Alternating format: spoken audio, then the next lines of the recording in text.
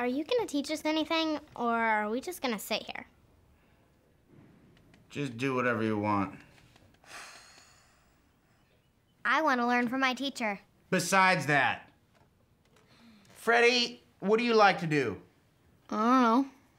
Burn stuff. Just go out and have recess. My parents don't spend $15,000 a year for recess.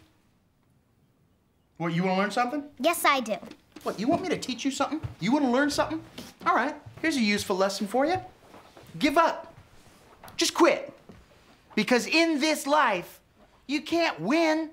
Yeah, you can try. But in the end, you're just gonna lose big time because the world is run by the man. Who? The man. Oh, you don't know the man? Oh, well, he's everywhere. In the White House, down the hall, Miss Mullins, she's the man.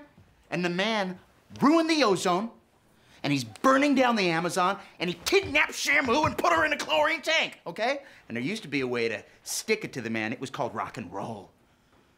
But guess what? Oh no. The man ruined that too with a little thing called MTV. So don't waste your time trying to make anything cool or pure or awesome, because the man's just gonna call you a fat, washed up loser and crush your soul. So do yourselves a favor and just give up! Oh, Mr. Schneebly, it's after 10. On Tuesdays, the children have music class now. right, okay.